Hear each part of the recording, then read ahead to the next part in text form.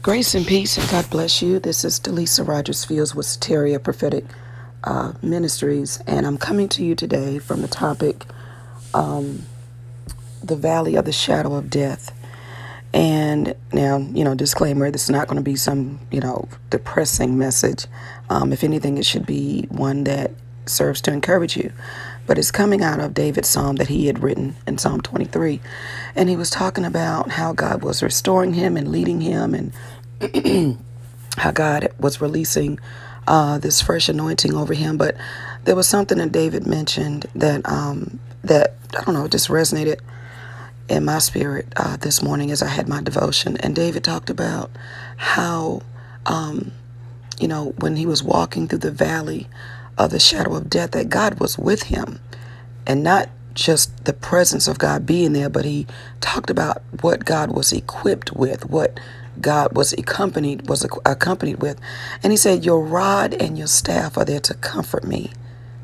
And you know, if anyone has ever had a valley experience, um, that is a place where you need the Spirit of God to comfort you. You need the rod and the staff. You need the rod to defend you because that's a season where you feel vulnerable. Um, sometimes you may need to be defended against your own self. You know, sometimes the enemy is not something external. There may be many cases where our enemy is actually our inner me. So, um, sometimes you have to be you have to be protected from your own self protected from your own thoughts protected from your own um, habits and trends and mannerisms. But anyway he said that your rod and staff they comfort me. And that staff it you know it, it pulls you back and it reels you in. It reminds you of the presence of the great shepherd.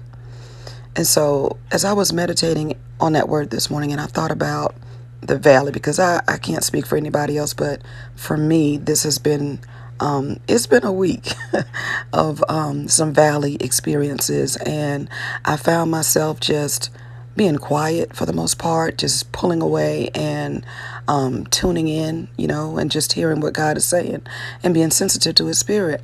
But one thing I can say for certain um, to my friends, people of God who are listening, that we all will have a valley experience. Pastor John P. Kee wrote a song about it many years ago, um, you know, in the valley. Um, Jesus is the lily in the valley, but you know, we all, it doesn't matter what your background, your makeup, your status, position, you know, it, none of those things matter. We each will have a valley experience at one point or another in our life. And it's times like that when you need to know that God is there with you and that He's not just there, but He's equipped. He's got that rod, he's got that staff. He's there to protect, he's there to defend, but he's also there to remind us that we are his children. We are the sheep of his pasture. And that even though that may be an, and you know, a, a very uh, trying season, it may be a very um, unsettling season, it can be a very painful season. Those valley experiences can bring things uh, um, for you to confront, things that you have to challenge. Um, in my prayers, I found, you know, myself just confessing um, some things to the Lord that had been troubling my spirit. I mean, for this, for some reason, this week, my spirit had just been troubled. Um, a lot, you know, just like an unusual troubling of my spirit. Um, and and so I just found myself constantly going to God, and then finally, I, I just heard Him say, "Daughter, confess it to me. Confess your fears, your apprehensions, your anxieties, your, you know, could bring it." And, and it was I'm telling you when he when I heard the Lord say, "Daughter, bring it." You know, like the scripture says, you know, come boldly to the throne of grace, and we'll find that grace and mercy that we, you know, and that, that we need that and that help in the time of need. And I just, it was like I heard him just extend that scepter like Ahasuerus did Esther. I, I just, I heard it and I saw it and I felt God extend the scepter and and say, daughter, come, come, you know, come, bring it, confess it. And I'm telling you, people of God, the moment that he, I heard that in my spirit, um, I just, I, tears fell because it was like the moment of release. It was like, you know, and, and you know, I know I can speak for myself. I know that God hears me, and I'm not saying that to be, you know, to brag, but you know, I have a confidence that when I pray, God hears me. But there are certain times when you need God to audibly speak in your spirit, and and I mean, it goes beyond the realm of faith. Lord, I know that you heard me, and I know that you know, you know, you're going to perfect those things that concern me, and you know, I'm casting my cares upon you, and Father, you're going to, you know, care for me, and you're going to do this. But it's different when He responds back and he says, "Okay, bring it. You you've been troubled long enough. You've been circling this mountain long enough. You've been, you know, floundering and flopping around in this valley long enough. Come come come and bring it." And like I said, when he when I heard him, I just I heard it so clear in my spirit. The tears immediately fell, and it was like I've I got that audience. You know, I got the audience that I need. The audience of one, the audience of the one that matters, the audience of the one that does it, the audience of the one that, you know, makes it better, that restores it, you know, or that explains it, or that makes it clear. Because sometimes, you know, some of your valley experiences is just a season of fogginess, you know, where you just can't see, and and everything is just you know in shadows and shadowy figures, and you're just trying to figure out God what is going on? What am i supposed to be doing? And where am i you know where am where am i supposed to be? And so in those valley experiences he has a way to clear the fog. And you know he just brings you into a place of um, clarity. He brings you into a place of confidence. And so when i heard him say daughter bring it i just immediately the tears fell because i knew even if listen it didn't even matter if he responded after I brought it. It was the fact that he gave me that audience while I was in that valley season, while I was having my valley experience.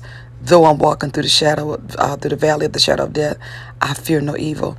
And so that moment, it just it broke the it, it, it just it, it I could feel the chains break. I could feel the anointing just in the voice of God that destroyed the yoke and and as, as I shared, um, you know, the things that had been concerning me and troubling me, and I, I just shared it, and I just felt such a release in my spirit, such a release in my spirit that I have not felt um, all week, to be honest with you. Just to release, just to, and again, like I said, the answers haven't even come yet, you know, but it's just knowing that I put it out there and I, I, I, I had that audio, I captured his heart and I captured his attention and he heard me. And so from this point forward, then you release your faith for the work to be done.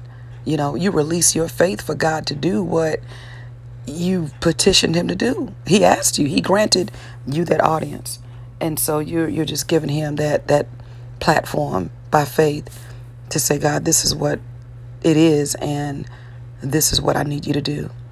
So I don't know what season you're, which season you're in, um, but I'm speaking to those particularly who may be in that valley season, that valley of the shadow of death, and you're in a place where, you know, maybe you're, you know, we currently are facing a COVID crisis across the nations.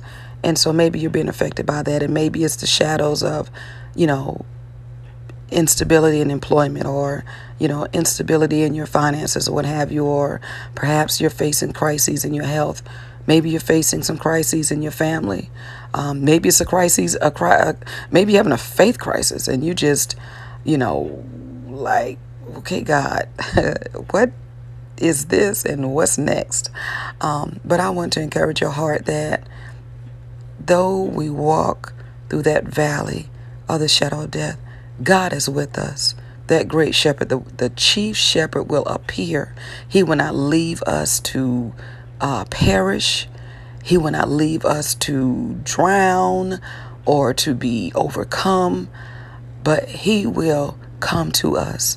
And as He did with me, and as He did through Ahasuerus with Esther, He will extend that scepter, and He will He will grant you that audience and he will hear your cries and he will hear your petition and you will walk away knowing that you know what god's got it he's coming through with his rod He's coming through his with his staff and and he's going to bring that comfort. So my prayer for you today is to receive the comfort of the Lord. Receive his presence. Utilize and take advantage of that audience uh, that he's going to give you uh, access to, permission, and, and, and, and the invitation to that audience. Take advantage of it and share your heart and be honest. Don't hold anything back because the she- the great shepherd, the chief shepherd, cares about you. God bless you. Grace and peace.